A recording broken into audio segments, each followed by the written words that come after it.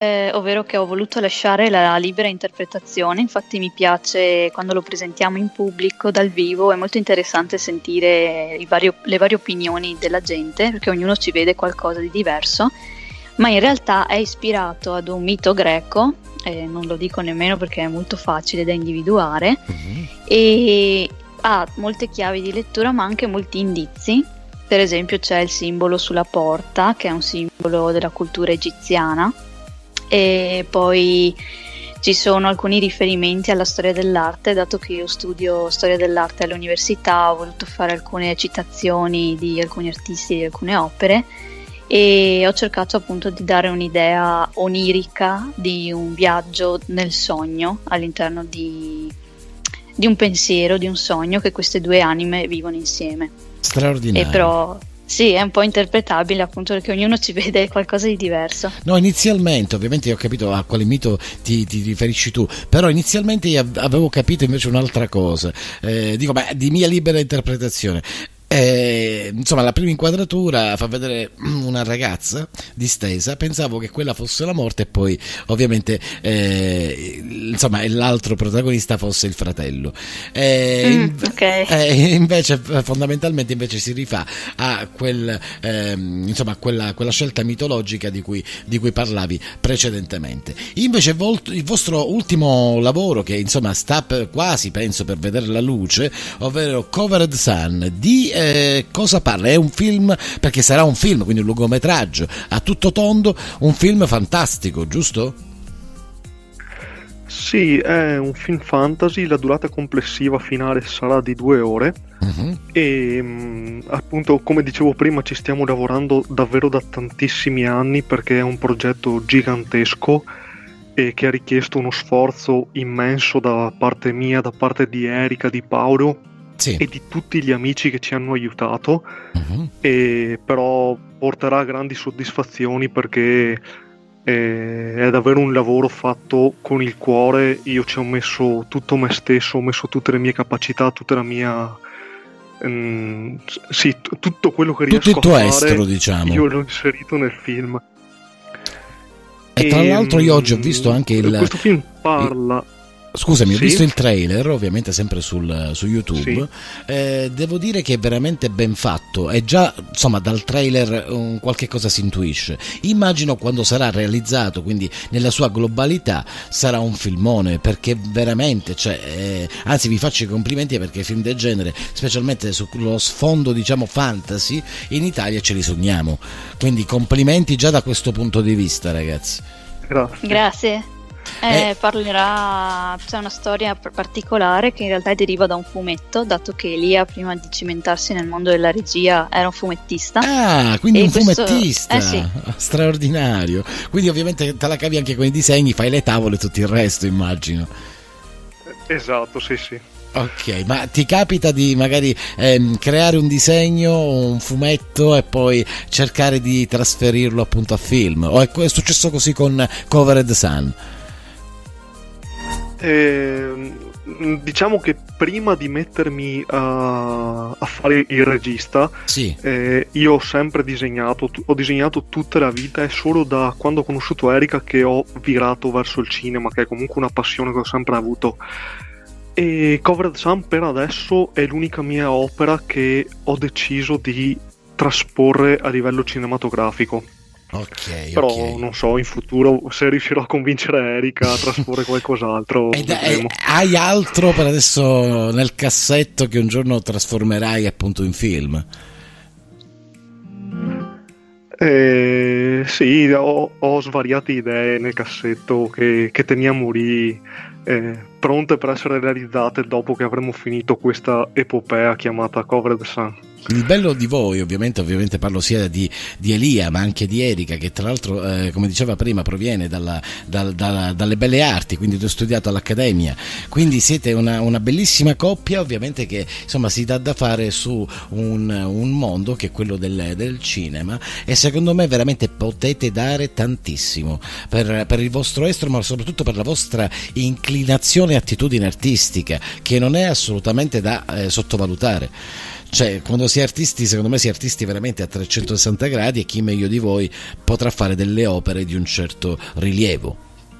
Grazie mille. Allora facciamo una cosa, ascoltiamoci il primo estratto audio e poi anche con un po' di musica eh, di eh, Covered Sun. Noi ci ascoltiamo l'estratto audio parlato di Sun. Posso riavere Ren?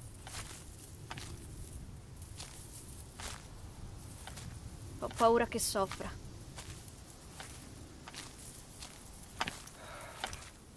Non può soffrire, non è un essere umano.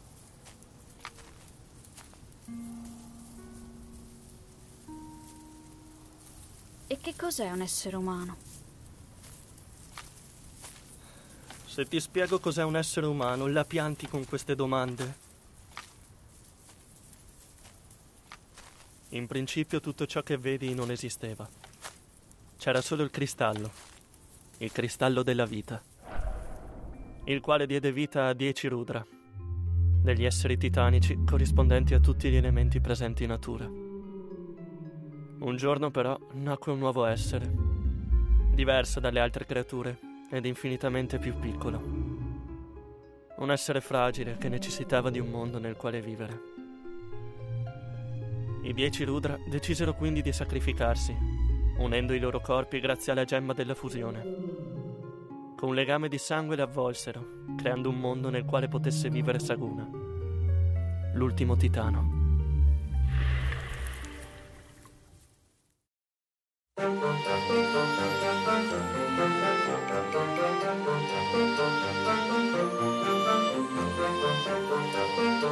Thank you.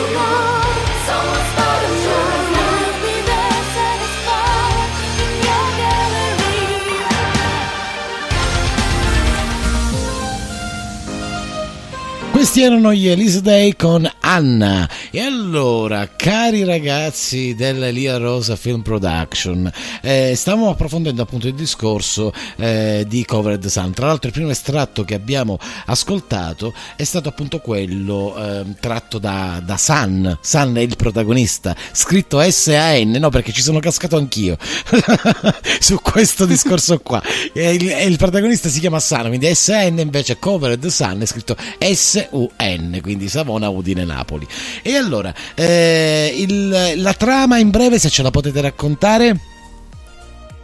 Ok, la trama è un po' complessa, comunque la farò breve. C'è il nostro protagonista che sì. è un guerriero, uh-huh. e sta scortando una ragazza senza passato, senza ricordi, eh, verso le montagne dolenti, un luogo sacro di questo mondo immaginario, e durante la sua, eh, la sua missione incontrerà altri, altri fattori che complicheranno la strada e si vedrà nel finale poi se San riuscirà a completare questa sua missione o fallirà.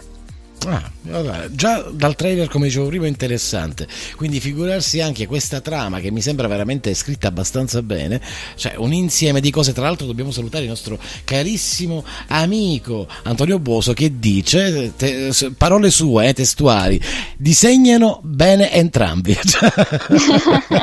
Grazie, Antonio. Allora, ragazzi, sì, quando... abbiamo fatto dei lavori anche per lui con gli altri cortometraggi. Sì, Antonio Boso, piacere. troppo forte, number one, il mio socio, giustamente assolutamente. Allora, invece vi voglio chiedere quando vedrà la luce, quando si spera che vedrà la luce Covered Sun, perché io sono abbastanza curioso, eh? Allora, io attualmente sto lavorando alla parte finale della post-produzione del film. Sì? Sto inserendo tutti i suoni all'interno del lungometraggio. Uh-huh e penso che nel giro di massimo due mesi dovrei aver finito questo lavoro. Ok, Poi ci mettiamo da aspettare il ferro dietro la porta le... diciamo giugno.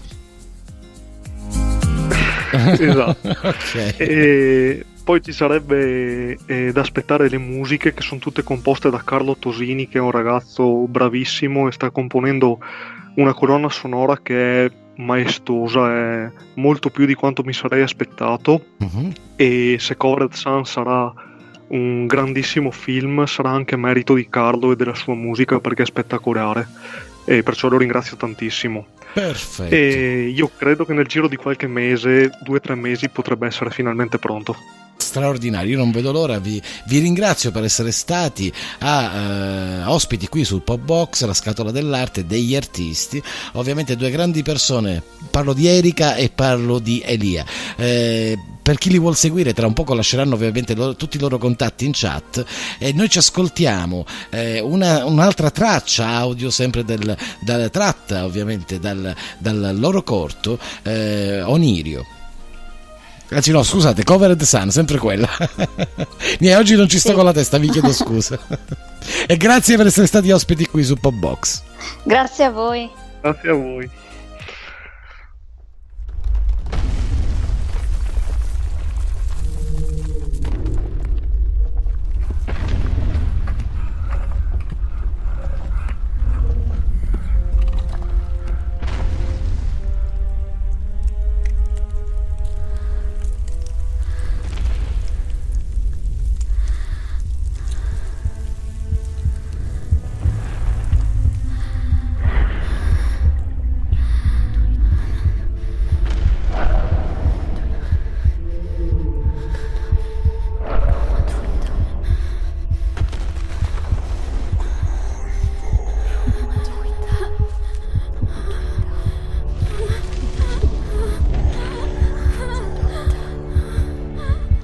Vedere il sangue.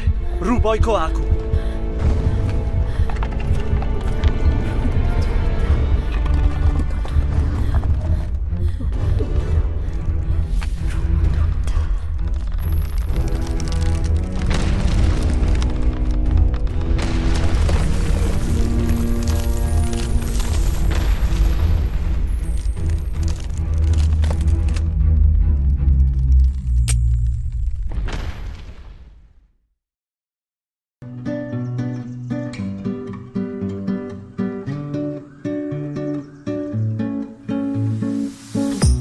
Immaginate una scatola piena di colori, di libri, di strumenti musicali, di quadri e statue. Immaginate di aprirla e sentirne l'odore, l'essenza. Questa è la scatola di Pop Box. Ed è finita un'altra puntata di Pop Box. Abbiamo avuto ovviamente eh, nostri ospiti Elia ed Erika dell'Elia Rosa Film Production, due, fa- due, persone fantastiche. Io sono stato un pochettino così un po' preso dalla botta, ma insomma ogni tanto ci sta anche per me, poi vi spiegherò i motivi, magari in un'altra puntata. Detto ciò, vi do un grandissimo abbraccio. Domani non perdetevi Hollybook con la nostra bravissima eh, Marica Schiavini alle ore 19 e io vi do appuntamento alla prossima settimana, sempre alle 21 alle 21.45 sì, qui su Popbox, la scatola dell'arte. Un bacione e a presto.